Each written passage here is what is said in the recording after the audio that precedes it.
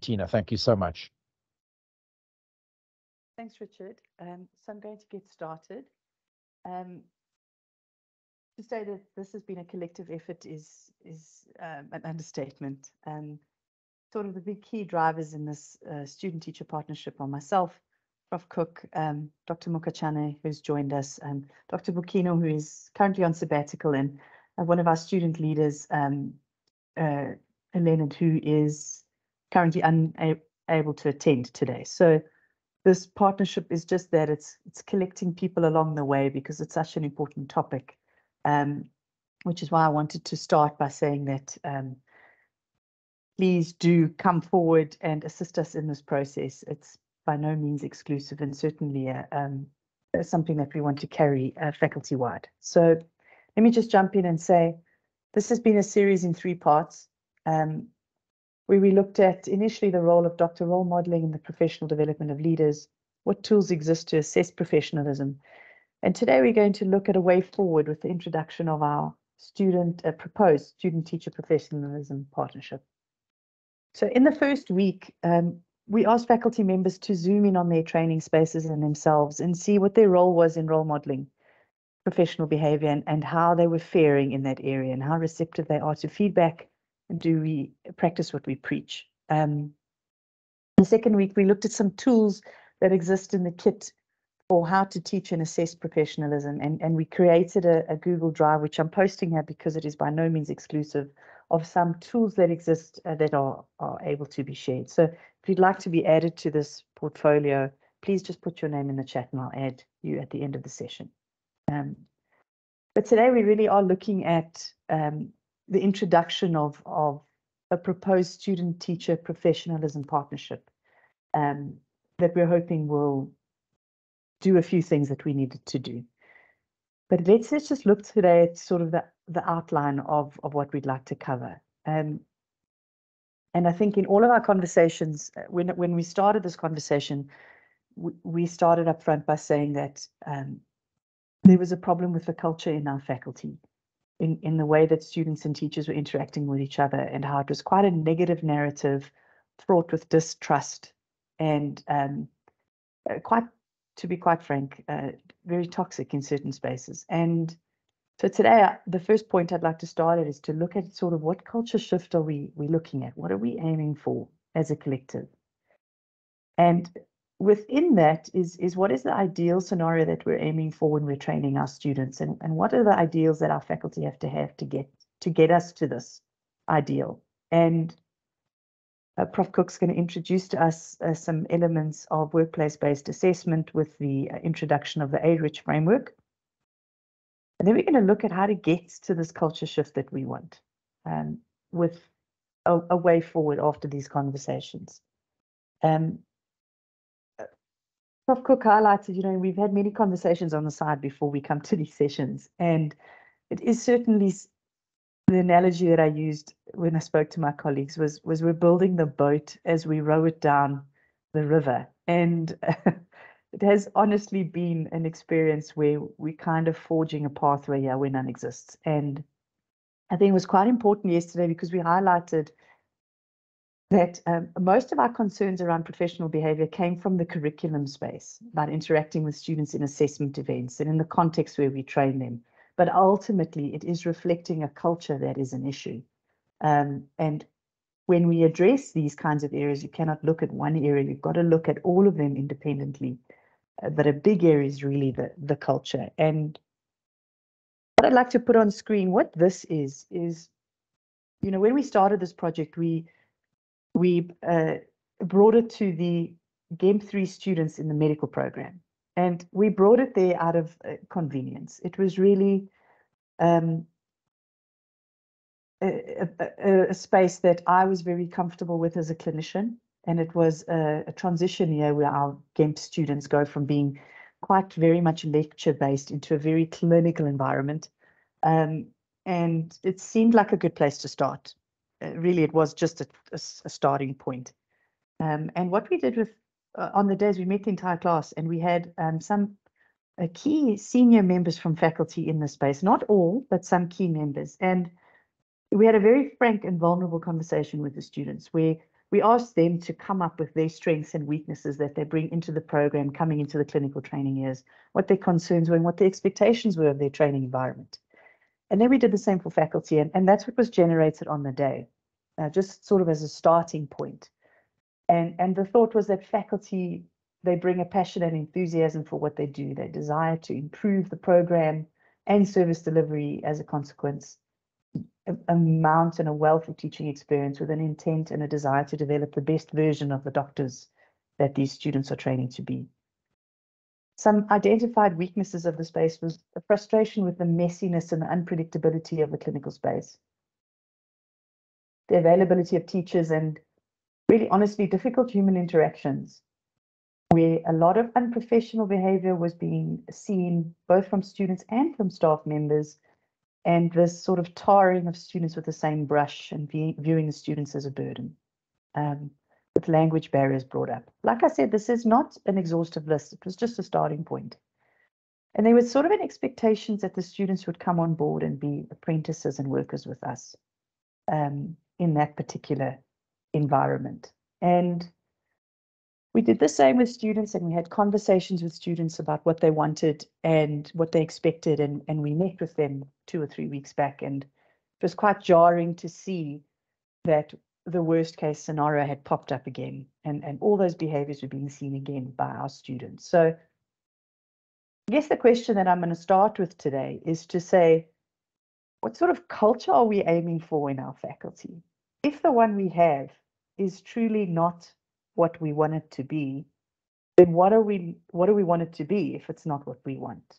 Um, and I'd like to at this point just uh, switch out and uh, just have a reflective space now where I'm going to document some thoughts that we might have. And I'm just going to share that written text uh, with you, you colleagues. Uh, let me just get my tech organized, if you don't mind. Um, so for me now is, is just thinking of what culture changes would we like to see um, at this point. Um, are, are there any thoughts around the things that we're aiming for that perhaps we don't have at the moment?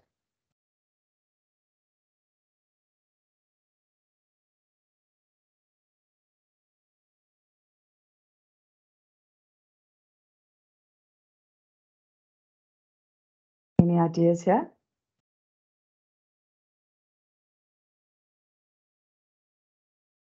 Richard, perhaps you can come in there for me. Yes, certainly. Um, let me let me say that that the the the matter of trust uh, is is um, is for me the the the big one. Um, that that if if we could have measures or initiatives or actions or approaches or tools that could try to to to influence the trust between students and and trainers um, is is is important.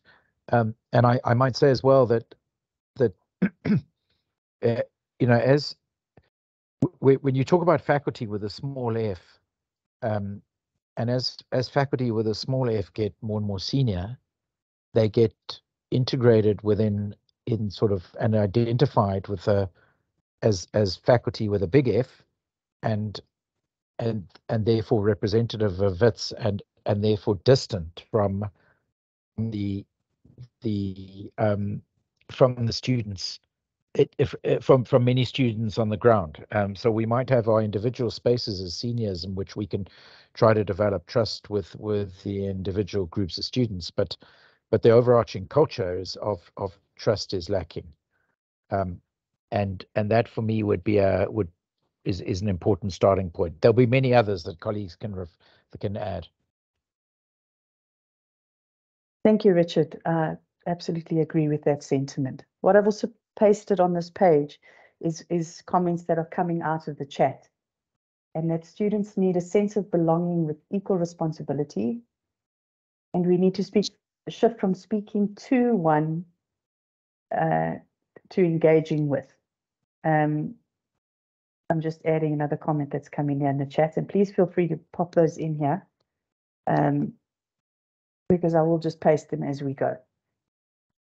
Any other thoughts around this as I'm placing these these things? If you had a wish list for for what you wish could be that currently maybe isn't or or is but is not on a large enough level, uh, maybe that's another way of looking at it. Um, from my side, uh, this shared responsibility um, in the training program is is a huge area for me, where um, students and faculty take on responsibility um, for for getting students and faculty to the point where it, you know everybody's in it for the same thing. I hope uh, students enter what, whichever health professions program they're in to become that professional that they want to be, and we as trainers in those spaces want them to become that. But it sometimes feels as we as if we're butting heads and we're fighting with each other, but actually we want the same thing. And so I don't know if phrasing it as equal responsibility is right, or if maybe there's another way to to word it. Um, another culture that I would love in our faculty is is one of um, having a, a, shared focus of, of what we're wanting. Are, are, we all on the same page in terms of our goals as a faculty and students? I'm, I'm not sure if that goal or that ideal is is the same thing or is known or even exists. Um, okay, I'm going to keep popping in the concepts that are coming in here. In here on the chat.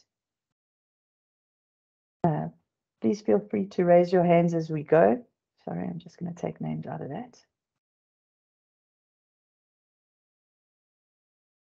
And um, I'm seeing safety, I'm seeing mentorship and shared values for patient care. Um, I, I see a, yeah, no, no hands up at that stage. Um, any other thoughts here?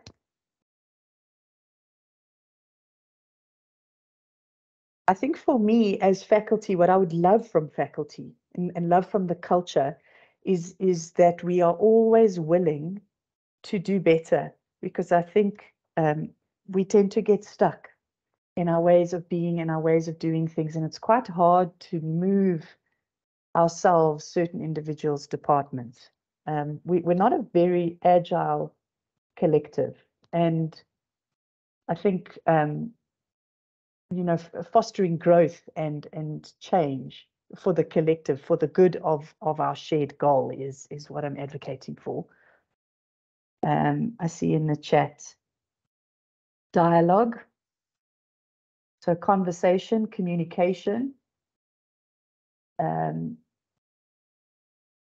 I'm going to see a safe and inclusive culture. Um, uh, where we advocate for each other. Sounds wonderful, can I just say? um, all these things that we, we wish we had. Um, trust, students belonging with equal responsibility, uh, speaking to, shifting from speaking to to engaging with, culture of doing and solution driven, mentorship with shared values for patient care, safe and inclusive where we advocate for each other, a culture where we can speak to each other and are responsive to each other's experiences. And I think there's a lot on this page that we can work with. Um, and in, in any of our spaces that perhaps we have seen bits of these coming through. But I'm, I'm hearing that they, and I know I'm preaching to the converted in terms of the colleagues that are in this room, um, that, that this wish list, um, is it is it so unattainable? I'm not sure. I'm just going to keep adding in here. Um, and uh, I'm going to just pause for a moment and allow us to just reflect on this list and see if there's any comments.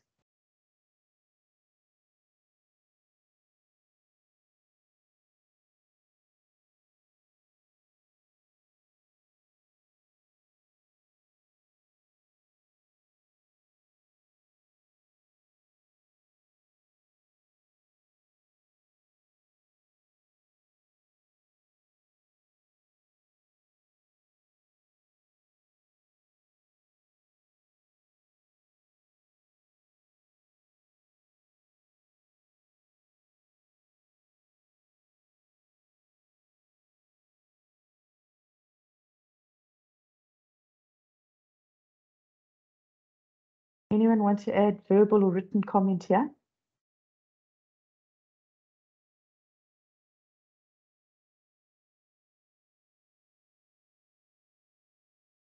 Yes, go ahead, Aviwe. Um, I've just been thinking about uh, how I think education sometimes has perhaps like a a, a, tendency of, of shaping and molding individuals to become a certain type of like ideology, depending on what you're studying. And I often wonder, you know, when we talk about we would love for students to feel heard and seen, that often does mean uh, uh, to a certain extent their individuality or how they express themselves also needs to be considered and a part of that journey even though yes there's the professionalism aspect that will then merge with that um, but I, I think it's so important for for people and students to be able to express themselves because along the way they end up it's very easy to to forget yourself when, you when you becoming a certain profession um, and and you have to take on perhaps new values. So yeah i, I think there, there has to be that merging merging of that personal identity but also with the professional identity but to make that work somehow Thank you, Aviwe.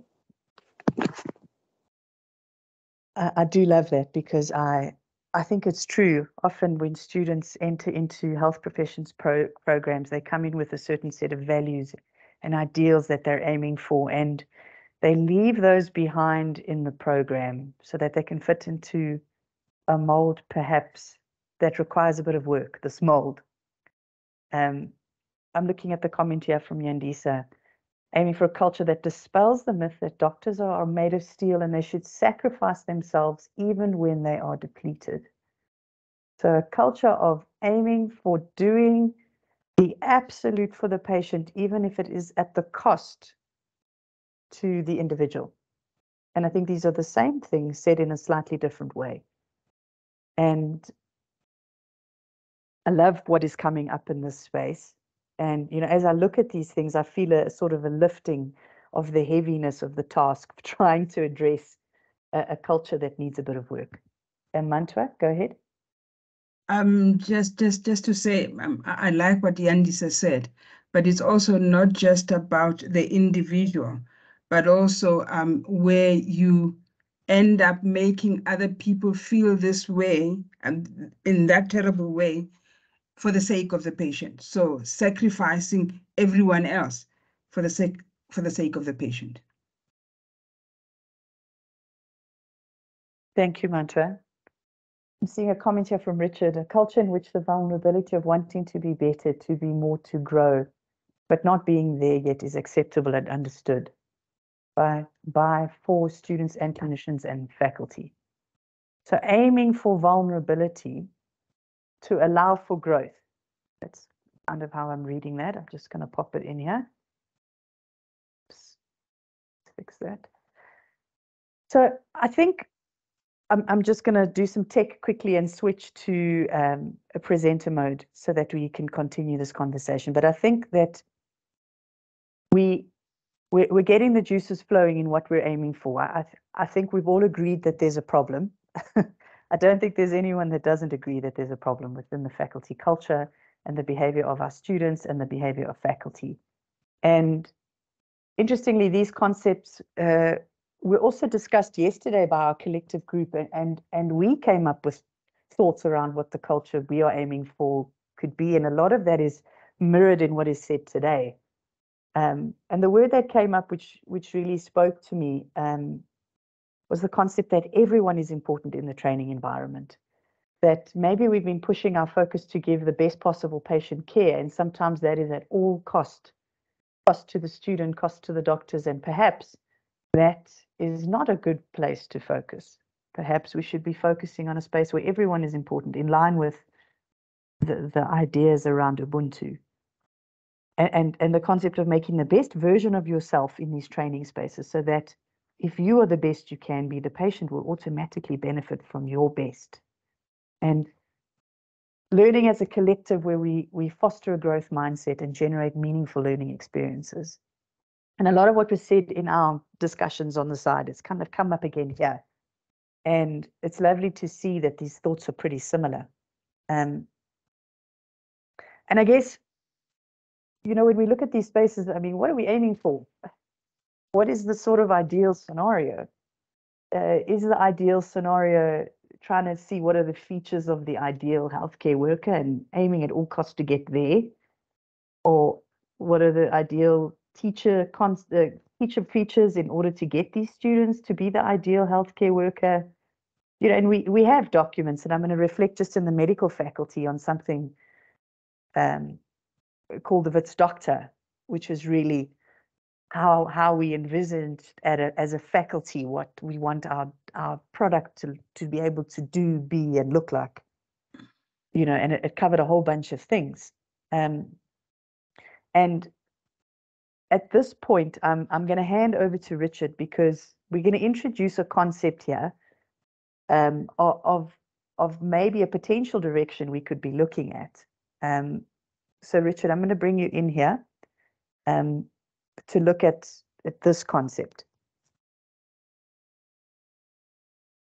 Tina, thank you, and and colleagues. This this is uh, this is something um, that we're currently working on within the the um, postgraduate uh, MEd programs for the School of Clinical Medicine, um, in which we we it really uh, apropos the, the the topics that Tina has very competently taken us through. This speaks to curriculum as opposed to context. I beg your pardon, as opposed to culture.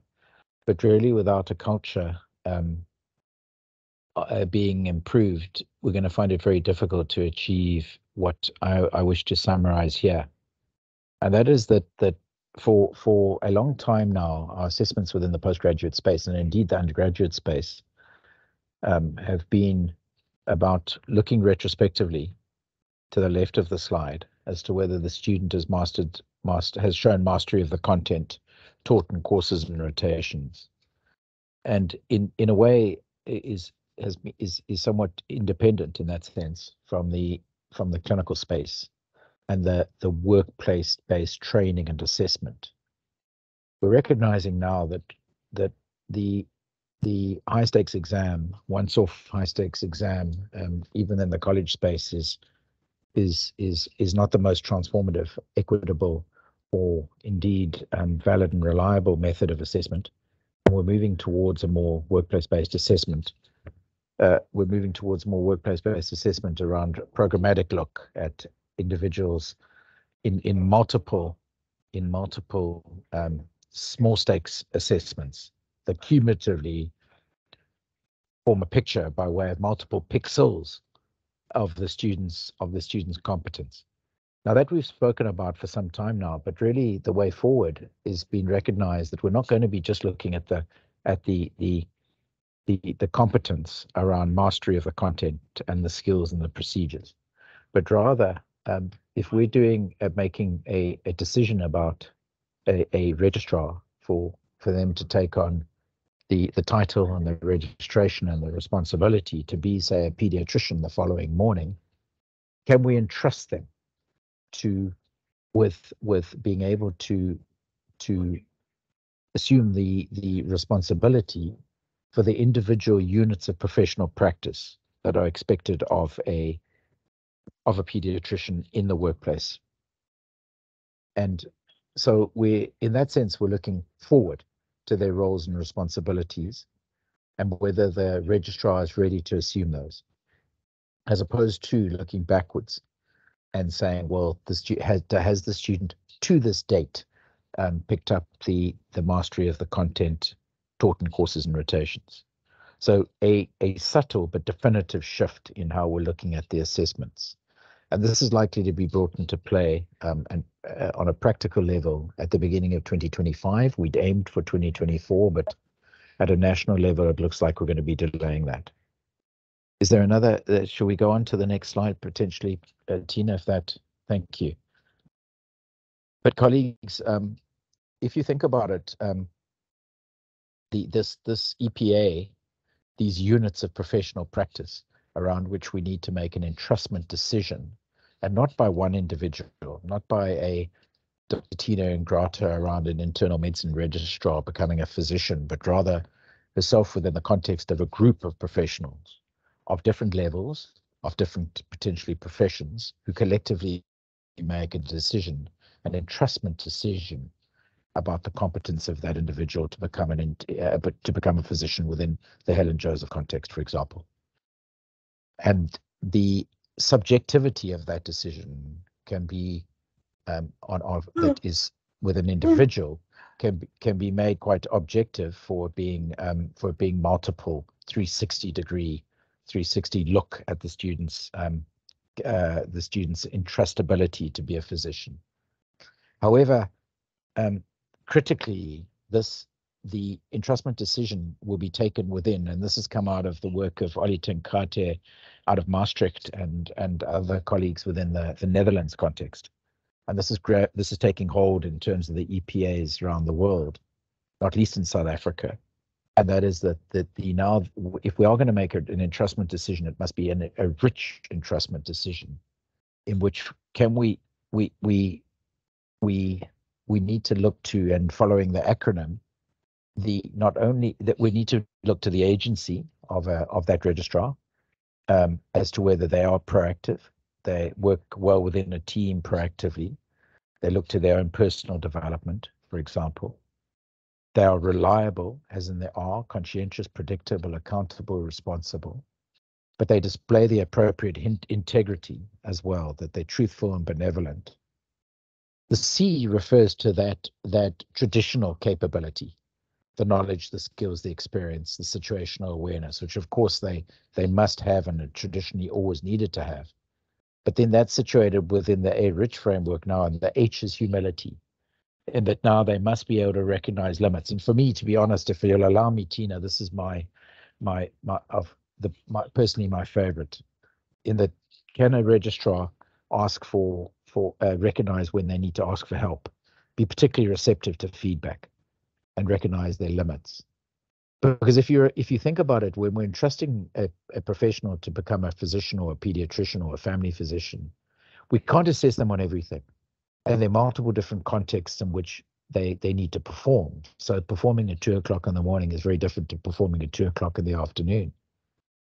And if we can take a rich entrustment decision around their capacity, around them being being able to perform the units of professional practice as a physician or whichever specialist, then then that is then that that would would that really enables our uh, the assessment framework to be able to entrust them to to to to have have um, to have reached the the the bar of of uh, of achievement, as it were. And and in in Tina's, myself, and and Dr. Pacino, Dr. Mokochana's engagement, um, and Laurie, and we've wondered whether this isn't a, something of a of a of a stake in the ground that we can understand from a postgraduate perspective, and and try to bring some of the discussion, if you excuse me, some of the discussion around these very same issues into the into the undergraduate space for for for starting to have students thinking through these issues um, and and how this can impact on the on the partnership between faculty and students. I do want to be very clear though that that we've grappled with the fact that there are many senior um, faculty, many senior preceptors, if you'll allow me to say within this safe space, who themselves, as Professor Richard Cook, um, who um, who may not be very receptive to feedback, who may not ask for help, who may not recognize one my my limits. And there's a lot of faculty development that we're having to do in this very same framework um, to be the role models for our students. But can we start the conversation within the within the the undergraduate space and within a within the in, in some way, in some practical way, within some framework of engagement that uh, that will will just potentially prepare start to prepare the individuals for the students at an undergraduate level for the professional journey ahead of them. Tina, can I pause there perhaps? Thank you, Richard. And you know, if we're looking at aiming for this in our postgraduates and the concept of us bringing it into the undergraduates, if you look at some of these elements, perhaps they they speak to some of the faculty, well, the culture changes we wanted are reflected in some of these learner factors in entrustment with an EPA. So then we wondered, how could we, if we were aiming for this, how could we get our students there? What attributes would we need our students to have in order to get there? And one of the key areas is developing a growth mindset in our students. And what's important about this particular stance is it assumes that um, no matter who you are as a student in any training space, that you have the ability to grow. You are not at your best on that moment. You haven't arrived there yet. You are open to feedback and you are willing to be coached and trained so that you can get to the best version of yourself. And I'm not sure how many students have this type of mindset. Getting our students to think out loud and explain their thoughts and explain what's concerning them is a key part to growth because then we can engage with them. We also need our students to be willing to practice deliberately in these skills and us helping them through them and, and working with them through uh, their training spaces. Because health professions can be quite unforgiving and um, error is, is seen as, as unwanted. And we're asking for a shift to a space where error is allowed for because it is human to err. And error in learning is often seen as undesirable, and we would like to challenge that misconception and to say that in order to develop to the best of your ability, you are going to need to make mistakes and see error as an opportunity to learn from these mistakes. And nobody likes to fail, but we need to change the way we look at failure as, as a different acronym, which is uh, perhaps first attempt in learning. And it implies that you will have further attempts in learning. And this will encourage you to persist because you'll get better going forward. So the difference between a fixed and a growth mindset is a student that adopts a growth mindset embraces challenges. They persist despite obstacles. They learn from criticism and they are inspired by others who are doing well. And they see their effort as more important than the reward. The effort they put in is the key because they, it will get them there eventually. And if we want to get our students to this point, to take on their learning, to take on responsibility, what do we need to be doing as teachers? We need patience because students are not at the level that we're at. And, and often we forget the steps we had to take to get there. We need to encourage students to be vulnerable in our spaces, to allow them to make mistakes in safe ways, and to help them through feedback and to guide and coach and mentor. We as faculty need to be open to feedback from our students and be not only willing to guide. I don't know that this is an issue. I think more of a concern is, is openness to, to feedback from students. Some, some people are really good at, at guiding and giving students feedback and, and then perhaps fall down when students are opening feedback in the other direction or don't really want to know. And, and I guess what I'm saying is these types of elements are in fact the encouragement of a growth mindset in faculty too. Maybe that's what we should be aiming for, that growth can be had in all parties. Because the truth is, we are all in this together. And the only way we can get better is if everybody is willing to say, I'm open to change. I'm opening to getting to the best version of myself because perhaps I'm not there yet. And how do we get there as a collective? This mindset, this way of being, it needs to become this, this way of thinking about growth and, and fostering trust needs to become a way that we are when we are in our spaces. And we have to accept that we are all always learning, not just the students, but faculty too. That the effort we put in is more important than the results, and that we guide each other's efforts, and that's in both directions. And we need to look at intelligent praise, constructive critique, um, helpful guiding critique. And that honestly, nobody knows everything, and everybody could do with a little bit of supervision and or input. I mean, I, I as, as a teacher, I, I don't even remember the last time I asked a peer or colleague to come and sit in on a session and say, listen, how was that? or to get feedback on a difficult interaction perhaps that I had with a patient and the students were there and for them to be honest with me and how that went. I, I don't think I've ever done that. And we expect our students to do it with us every day. But I'm saying if, if we're going to do that with them, then they can expect the same of us. And we need to all hold each other to a higher bar. And I guess the focus is to be on where we're going rather than where we are now. And so I'm, I'm going to finally introduce what we promised we would introduce. And I'm going to put up what is a document which is in draft. And it has changed in, in many times. It's gone through many iterations and it's currently not in its final utterance. Iterations. It's got lots of change to be to be brought in. But I, I just want to take you through the process of, of what happened here. So what started as a conversation with me and a colleague on a couch about the unprofessional students became surely there's a way we can enforce this and started looking at contracts between students and faculty and that then became a code of conduct and a professionalism code of conduct which then came with litigation. So it went too far and it came back because the idea is of an agreement is is that there are two parties involved maybe three maybe four but in this case two parties involved that both have a set of clearly defined roles and responsibilities about what is expected to be delivered in terms of integrity, humility, reliability, and duty. And what we did with this contract is we adjusted it to become an agreement and embedded the A-Rich principles within it. Where we are saying to students and teachers that we strive to develop a relationship that is characterized by mutual trust, acceptance, and confidence.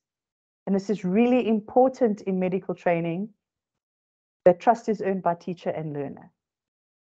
And that we're going to be holding each other to account in professional and ethical values. And a reminder that there's an there's an understanding that this is something we agree to. Now, my colleagues can jump in and we, we've gone back and forth in various spaces about sort of the legal. I mean, I did, when we started, we wanted this to be something that was signed. And we kind of broached it in January with the students as, as sort of a verbal commitment that we would hold our bit and the students would do their bit. And what's happened so far is nothing has really changed other than the students have looked to the training space with healthy skepticism and fear and found that the fears that they had have come true and faculty have had the same experience where the students haven't changed in any way. And that is because in our experience with students, and they told us this documents don't change behavior. But I'm bringing forward an agreement here and saying, could we come up with a collective understanding of a way that we agree we are going to be and hold each other to account in these spaces? Could that be a way forward? So I'm just going to pause there and, and, allow for my colleagues to comment on bits that I've perhaps left out. Uh, Richard? So thank you, Tina. And, and we took this document and and and um, brought in some of the A-Rich framework. You'll notice um, in the bold we've got agency, reliability, integrity, etc. Just to try to to bring in the conversation around or bring in these these concepts into this discussion. But lately can we've I, been can thinking. Can I focus here, Richard, or would you Oh, I like beg to your pardon. Is it better Um, here or the previous page? Um, this is yes, no, this is this is This is better. this is this is better for us to be looking at, and these are some of the some of the, that's fine. This these are some of the, the particular phrases in the agreement, so that we we're just trying to grow this this this um th- use this particular tool to grow the culture of of a partnership around agency reliability and integrity, etc. That speaks to professionalism as a whole.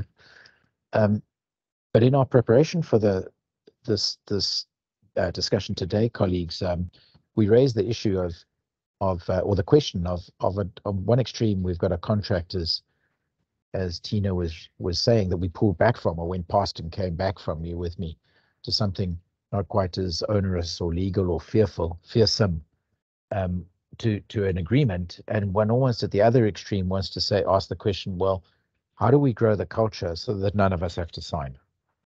Um, because of the fear that comes with that? Um, or do we meet in the middle somewhere? And it's not about a signature, is it? Ultimately, it's about the culture. But is this a tool that can allow us to, to, to, to at least, at least show us a particular direction in which we all are wishing to move? Thanks, Tina. I see Mervyn's got his hand up. Um, may I go with Daniela first? Uh, go ahead, and then I'll come to you second, Mervyn. Sorry.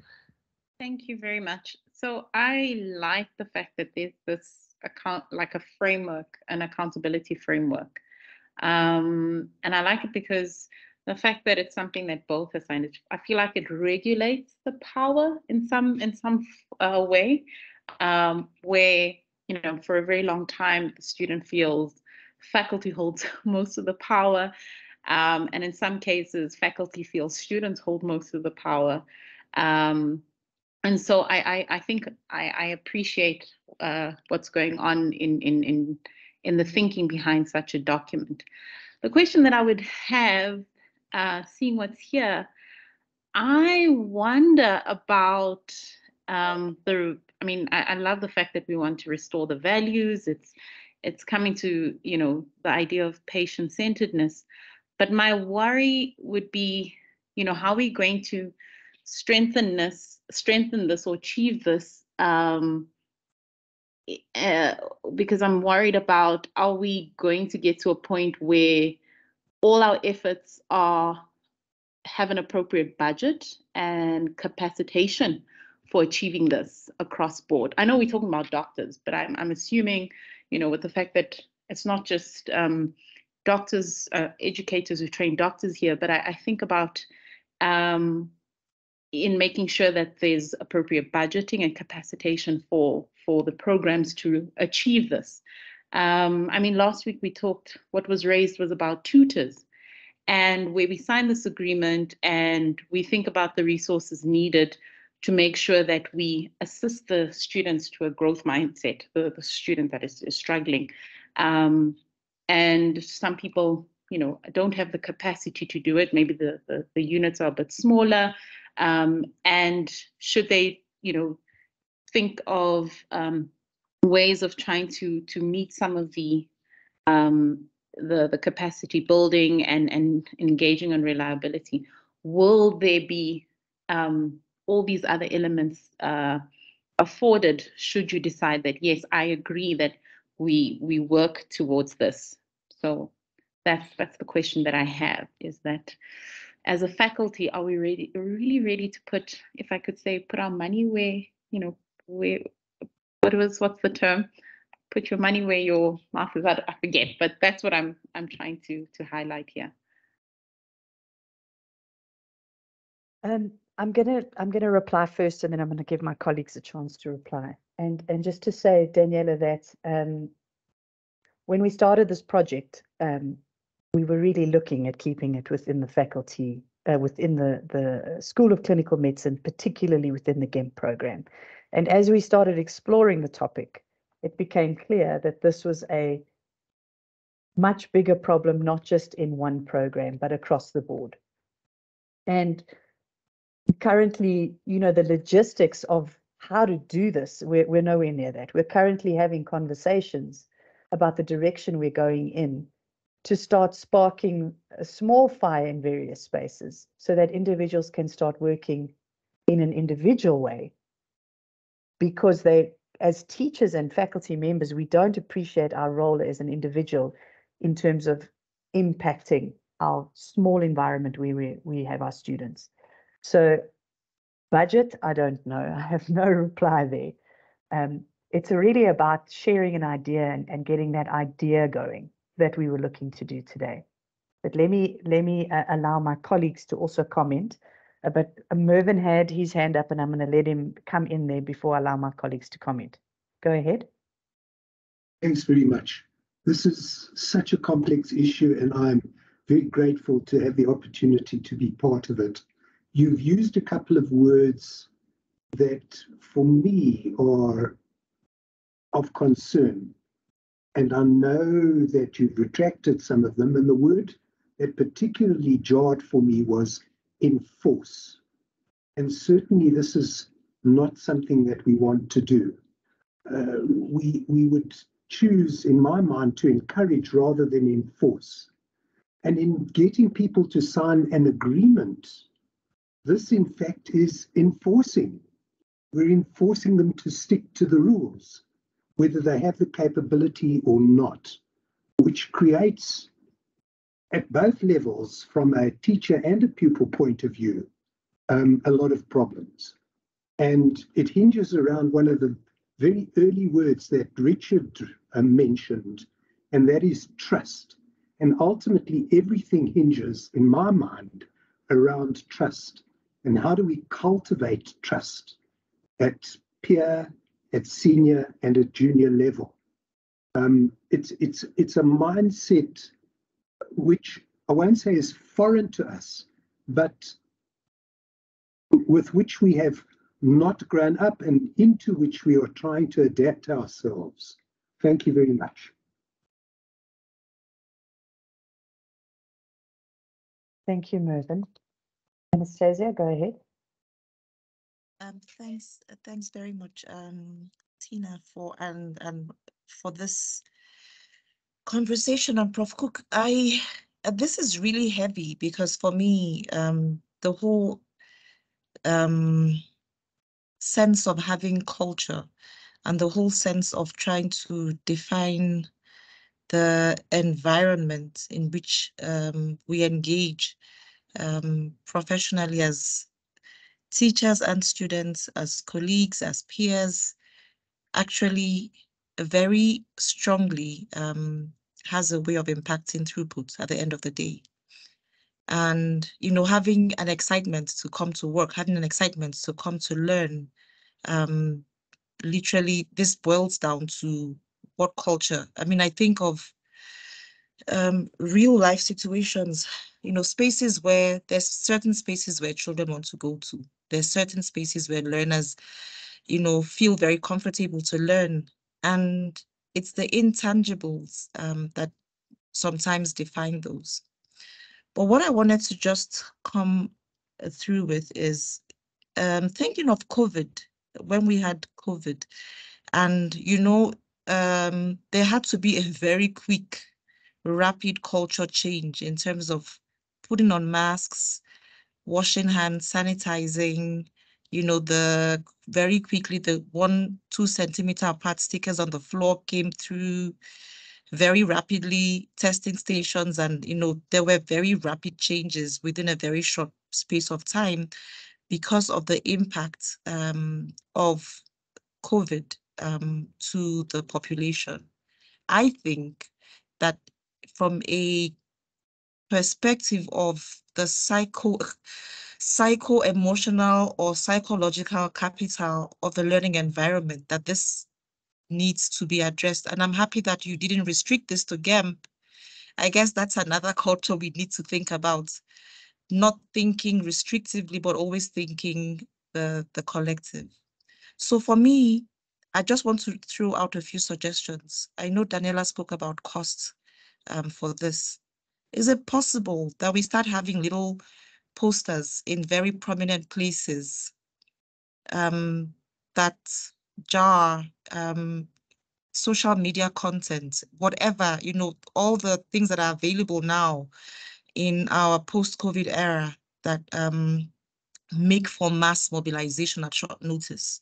That, that speaks to not the bulk of this agreement, but speaks to one thing at a time.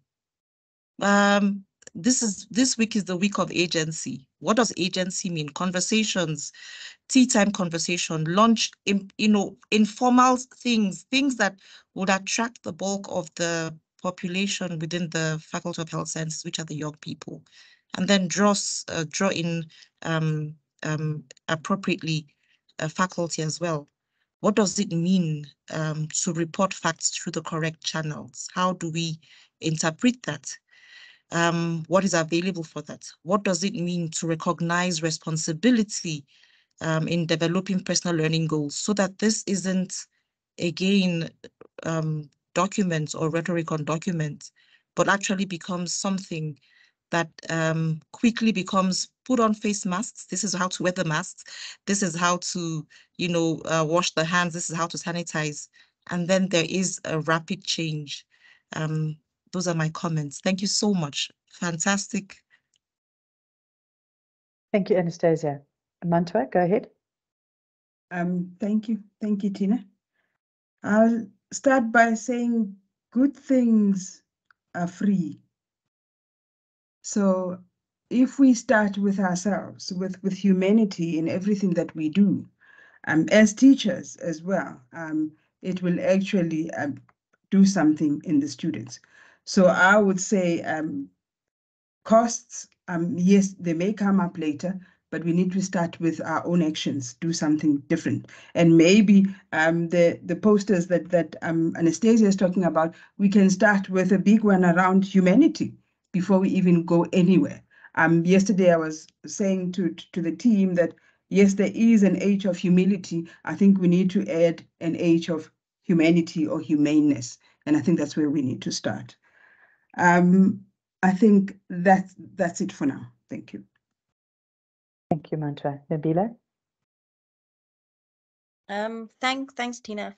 I think this this draws on so much, and I think my mind was just, I think as um, Anastasia was saying earlier, it, it becomes so heavy. Um, and I'll draw on a little bit of my experience with this topic. Um, part of my my master's research looked at, you know, the educator's duty to care, and a lot of it was you know, it's ethical caring. So in bioethics, we talk about ethical caring, and we're talking about not caring in the paternalistic way, but caring in a way that empowers students and caring in a way that, you know, the academic equally feels a sense of not so much responsibility for the student, but a sense of responsibility for the learning of the student and the development and the growth of the student. And I think all of this comes back to you know this development of a culture that that we're trying to do and that we're trying to to encourage and inculcate in each other. And I, I just come back to all of it and i keep thinking if if we ourselves don't fully understand what our duty is towards educating then you know as students say an agreement and a piece of paper doesn't always allow for for the for policy to be implemented. And, and and i mean you know we do need the paper and and I won't deny that because i part of what i was looking into was you know a code of a code of ethics for health professions educators and in the world i found one. Um and, and and i think it's important that we just do a little bit of introspection as educators and yes there are student personality traits and there are students who who we need to reflect on and talk about.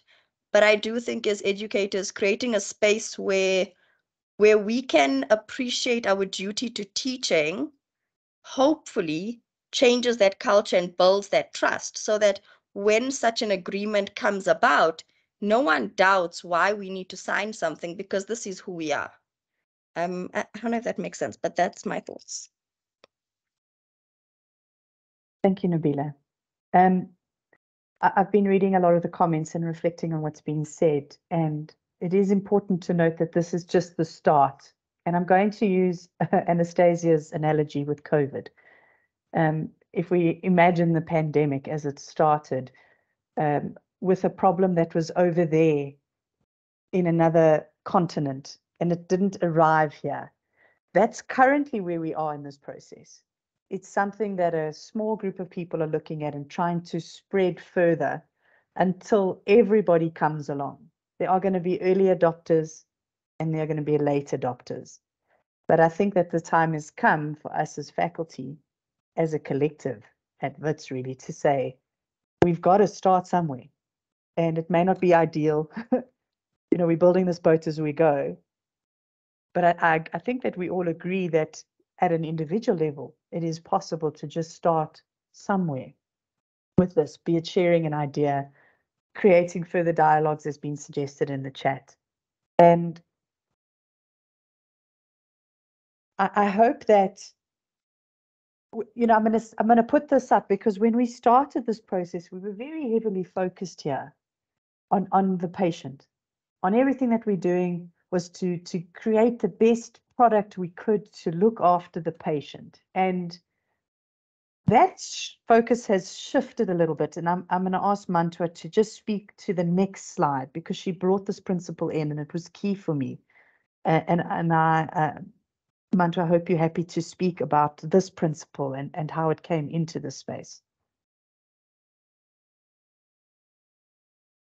Thanks, Tina. Um, you took me by surprise there, but it's fine. Um, I was saying to, to, to the team yesterday that yes, we, we focused on the patient, but there's a tendency then, um, while doing that, we become quite harsh to our juniors, to our colleagues. A colleague can even collapse because of our action in trying to help the patient. So we need to bring humanity in, in what we do. So yes, it's about the patient, but it's about everybody else, not just the patient. It's about you as the doctor. As someone has said, we need to also um, make sure that we don't get depleted. But it's about your colleague, it's about your your student, it's about the patient, it's about the people around you at that time, whether it's a cleaner or, or whoever, a nurse, eh, all the people. So if we can then bring humanity to it all, um, we can work together and, and start acting that way. That's why I was saying also, good things are free. You don't have to pay for good things. If you your actions are good, they will rub off onto the next person and change will come. So you start small, you start with one, but that can end up being thousands and thousands of people acting that way. You can even see when you walk around maybe in the hospital, just greeting somebody, stopping and asking them how they are. That the smile you see on that person's face. So we need to start doing things like those in the clinical space and not be harsh to the students, the colleagues, when you are busy with a patient that's not well.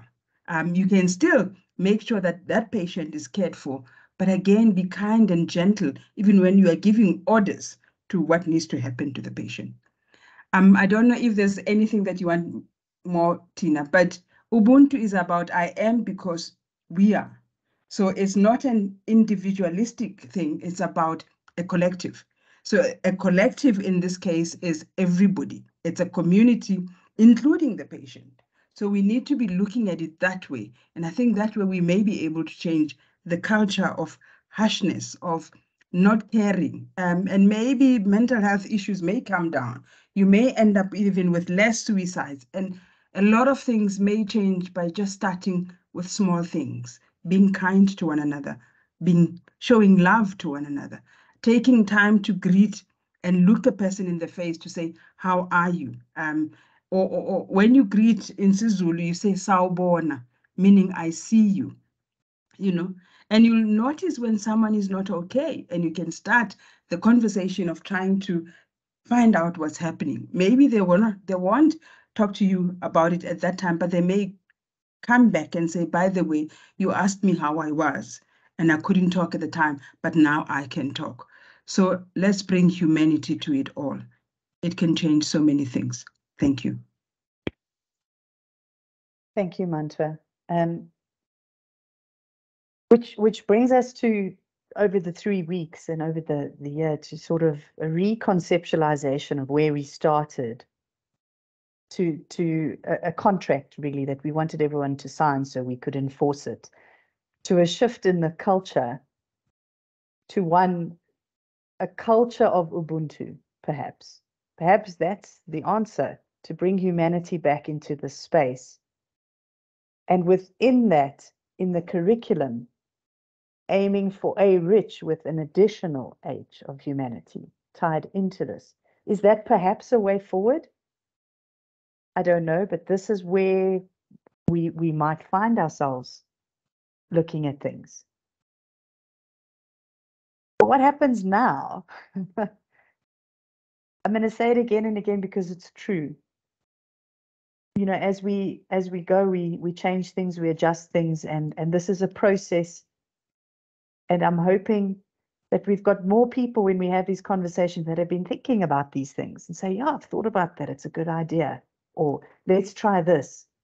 Let's, as an individual, just for the next 28 days, do something with humility and humanity and kindness at work and see what happens at an individual level. Really asking for partnership between all party, parties involved for the good of the collective as a shift perhaps for our faculty. And, and at a curriculum level to consider perhaps adapting the curriculum to help us make a rich entrustment decision. And where do we go from here? Well, Richard, I'm going to let you chair this section because um, we have gone over time and I apologize, colleagues, again, um, as is the case with, with self-reflection. Um, but thoughts and ideas about where to go from here.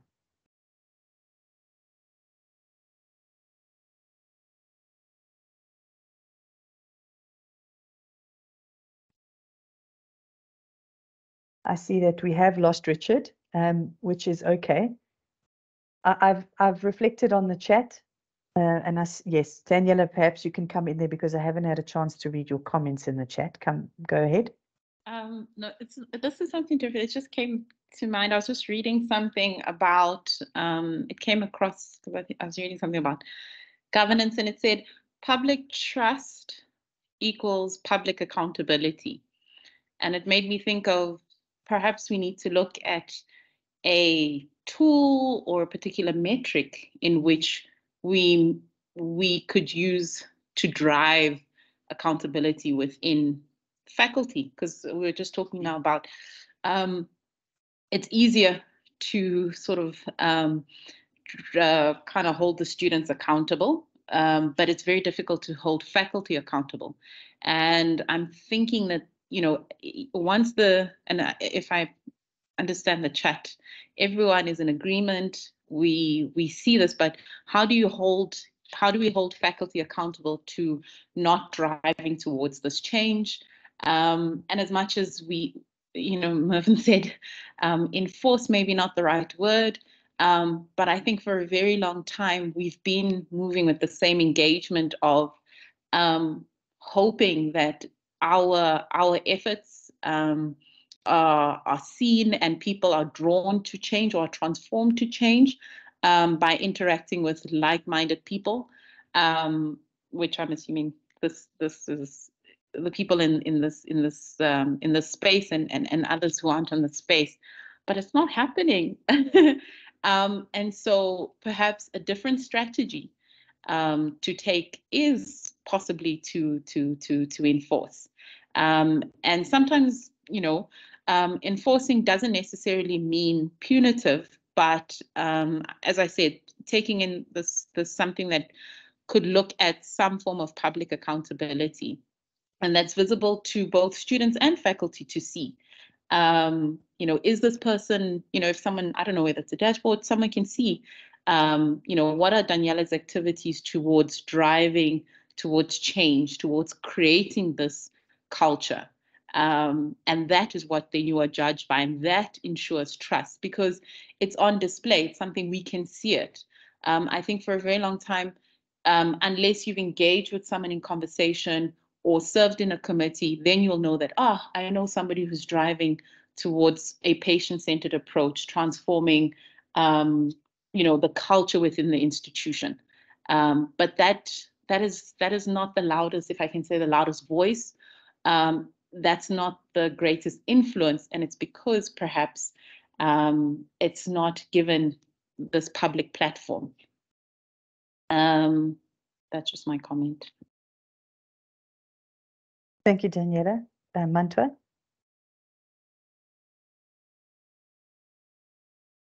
I'm sorry, Tina. Um, I, I agree.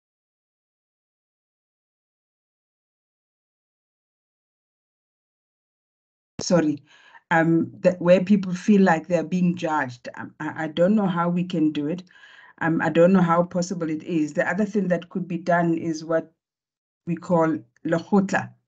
Uh, but then who will be in that lekgotla? Lekgotla is people that can then call you in, but not to judge you, but to help you grow and see some of the things that you did wrong and with the hope that you you will then change um so i don't know when it's like that which people can you even put in that um, group because um, it needs to be people that will be able to do that gently, kindly, um, but also still be respected for what they are doing. So I don't know how we can do that. Thank you. Uh, colleagues, um, what I'd like to say is that this conversation does need to continue, and I, I wouldn't like it to end um, eh, because these sessions have ended.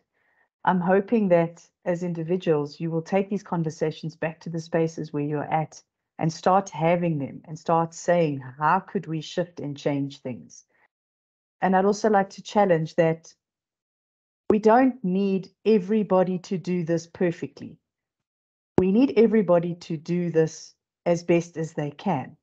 And that starts by a, a small group of people starting and showing others that there is a different way to do things.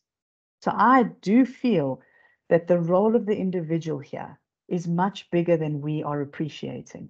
I know that the role of the individual might be scary, but now you're in a shared space with colleagues who are perhaps already on a similar to same page. And we're going to keep having these conversations. And all, all we're asking is that within your own spaces, are there opportunities to bring in these elements that we've highlighted? to focus the role modeling. And people want a stick to get things done quickly. They want a punitive action, but that is not how you change a culture. We have to do this slowly and gently over time, but with quite a bit of deliberate behavior. And, and really this agreement, you know, you know, behavior is an interesting thing. Um, it's, it's an understanding that you should behave a certain way and you should know how that is. And what this agreement is providing is perhaps for those who, who are not clear on what it is that we're expecting or that is expected, that there is a guiding document. it's not something to be used as a stick, but more as a guiding document until one day, eventually, once we've agreed that this is how we want people to be, then eventually it can be something that is signed. And I think for now, that is not the goal. The goal is at, at taking on responsibility from both sides. And I think the key is to look in your own spaces and, and to say, are there any things that we can use that can encourage people to behave better? Are there things that are already existing in structure that we're just not using? I'll give an example. Teaching assessments um, insist on feedback and they are necessary in order to academically progress. So um, insisting that people have teaching assessments would, would have a dual role because it's enforcing feedback and seeing how people are doing, which they may not actually have even been aware of. So that's sort of a simple existing strategy. But I, I think that each each person in the space perhaps has things that they can look at. But what we're looking at, really what started as as improving on the professional behavior of students has become a, a much bigger endeavor in terms of changing the way that things are uh, for the benefit of all of us. And I know this is, sounds like a very lofty task, but I, I think we've already started and we're all different after having these conversations. And I, I think that there's power in, in, in that. Colleagues, thank you for listening to me and for bearing with us over the last three weeks and for bringing your vulnerabilities and truths and thoughts and ideas here. These are safe spaces. Um, if there are any, are any other closing comments, I am going to close the session now just to say thank you we will provide additional spaces to discuss these things and, and maybe we have to create them. Maybe that's the way forward um, to create these lekgotlas that Manto was mentioning or others uh, to, to unpack these further. And perhaps that's your role is to go and see if you can do that in your own space. No pressure. But thank you for the time and thank you for the honesty and thank you for, for bringing um, yourselves and your experiences here. Good evening and thank you. And are there any further comments from you? No, uh, just to say thank you. It was it's quite an enriching um, discussion, and I think we'll be moving forward from here and trying to change ourselves so that our students can also change by looking at what we do and how we act. Thank you. Thank you, Mantwa. Uh, Daniela, go ahead. No, I, I wanted to say thank you, but also encourage the team for the past few weeks to write i don't know whether you can write up on on what we've been doing um, and and and keep it on record. I don't know, but to also share it with the national department. I was looking at the Presidential Health Summit, and a lot of the topics we're talking about um, speaks to what they're trying to address with these nine pillars, um, especially with regards to human resources and service delivery. And I think a lot of what we've talked about, and especially today's presentation, um, would be something that they, you know, they can build on that would address um, these supposed nine pillars towards driving um, everybody to being prepared for universal health coverage. So I would really encourage um, that engagement. So well done. Thank you. Thank you, colleagues. Um, do stay in touch. Um, you know, you know our names, and we now know yours. Um, and we'll be connecting in the various spaces going forward. Uh, thank you and good night.